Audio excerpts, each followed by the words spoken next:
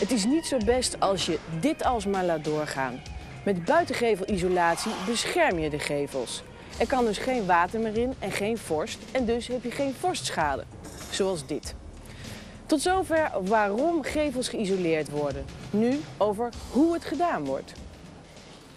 Het hele proces is onder te verdelen in drie fases. 1. Het bevestigen van het isolatiemateriaal. 2. Het aanbrengen van het wapeningsgaas, dat is dit. En nummertje 3. Het afwerken. Maar laten we bij het begin beginnen. En dat is fase 1. Het bevestigen van het isolatiemateriaal. En dat is nog niet zo eenvoudig.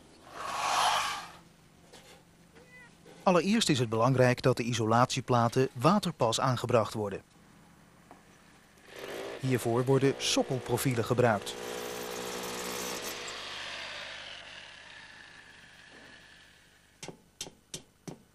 Bij dit flatgebouw worden de profielen 400 mm onder de vloer van de eerste woonlaag bevestigd. Voordat de isolatieplaten aangebracht worden, moet de ondergrond vlak zijn.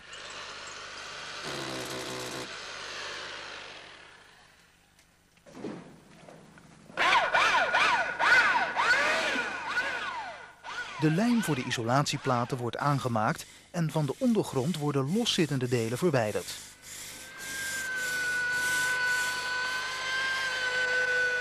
Vlak voor het bevestigen van de isolatieplaten wordt het sokkelprofiel schoongemaakt.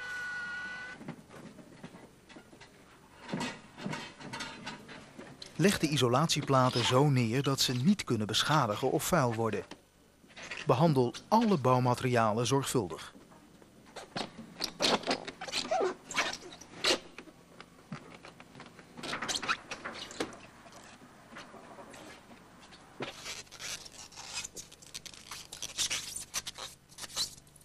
Vervolgens worden de platen vastgelijmd.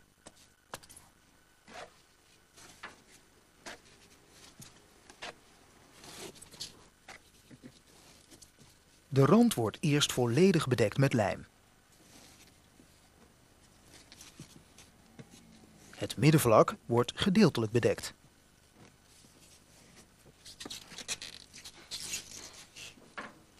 Aangedrukt tegen de muur moet meer dan de helft van het vlak bedekt zijn met lijm.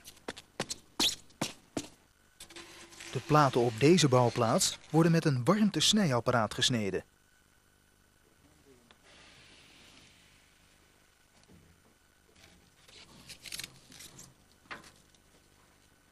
Breng de platen aan in halfsteens verband. Op in- en uitwendige hoeken worden ze vertand geplaatst. Bij aansluiting op andere bouwdelen, zoals waterslagen en kozijnen, wordt comprimerend band gebruikt. Dit zorgt ervoor dat er geen water meer door kan.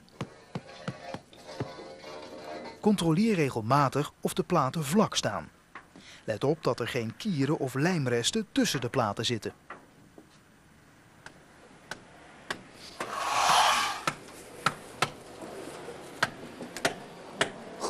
Ze hangen nu wel, de isolatieplaten, maar het kan in ons land stevig waaien.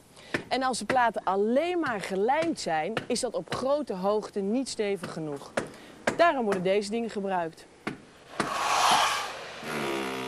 Verankeringspluggen worden boven de 10 meter altijd aangebracht. En bij gevels met onvoldoende draagkracht soms ook lager. De pluggen worden volgens een door de fabrikant bepaald patroon aangebracht. Ze mogen niet uitsteken en daarom worden ze iets in het isolatiemateriaal geslagen.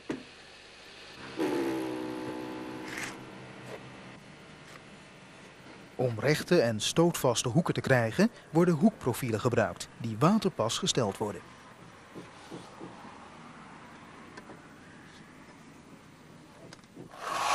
Dit was de eerste fase van het hele proces. Het isolatiemateriaal is bevestigd. Nu dus fase 2.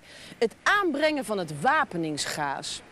Om nou de thermische spanningen op te vangen, wordt een laag van dit gaas aangebracht, ingebed in een mortel.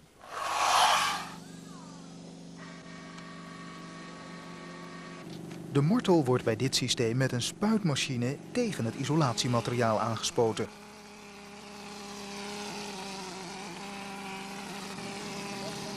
Met een spaan en een rij wordt de laag vlak gezet.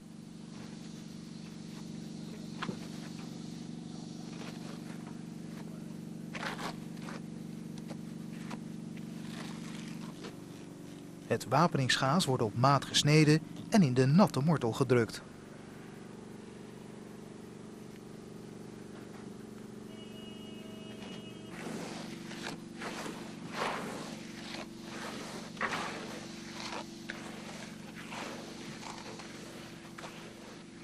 Verschillende stroken wapeningsgaas moeten elkaar minimaal 100 mm overlappen.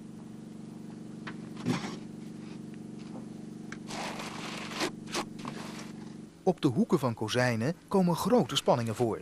Daarom wordt een extra versteviging aangebracht.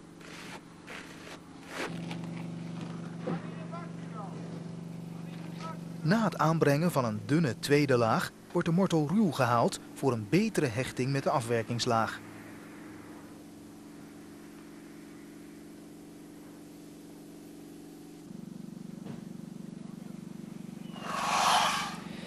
En dit was de tweede fase, het aanbrengen van het wapeningsgaas. De laatste fase van het isoleren is het afwerken. En dat gebeurt hier met deze mineraalgebonden krappleister. Ook de krappleister wordt bij dit systeem met een spuit aangebracht en daarna vlak gezet.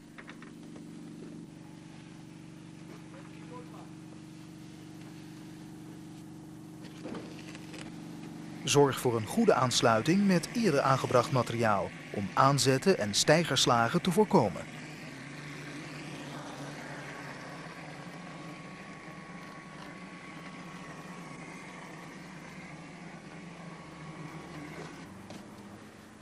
De afwerking van details gebeurt met de hand.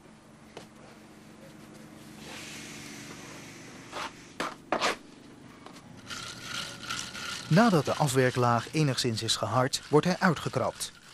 Om een gelijkmatige structuur te krijgen, gebeurt dit uitkrabben bij voorkeur door één persoon. Nou, dit was het dan. Deze gebouwen kunnen er voorlopig weer even tegen. Maar er is nog één ding. In de praktijk zal het niet altijd exact zo gaan zoals het hier gedaan is. De systemen verschillen namelijk nogal eens. Over de dingen die net anders kunnen gaan, daarover heeft het bedrijfschap STS meer informatie. Wat mij betreft heel veel succes en tot ziens.